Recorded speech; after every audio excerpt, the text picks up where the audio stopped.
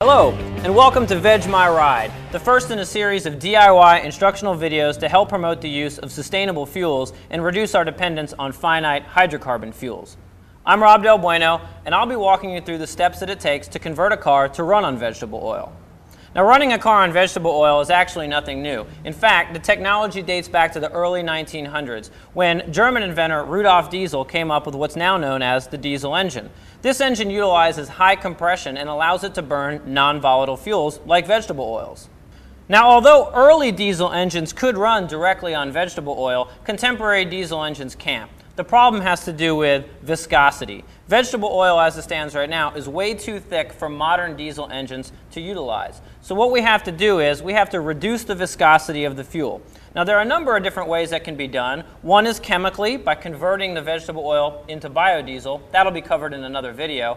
Or we can also reduce the viscosity thermally by heating it up. Now it turns out that every internal combustion engine produces a lot of excess heat.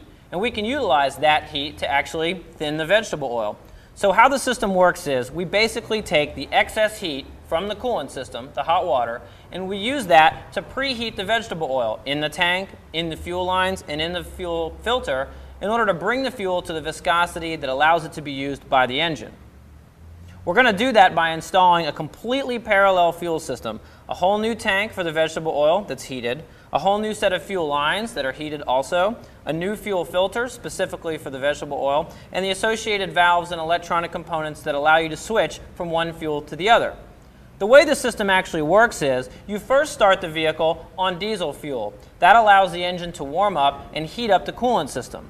Once the coolant system has gotten warm, you can now use that warm water to heat the vegetable oil.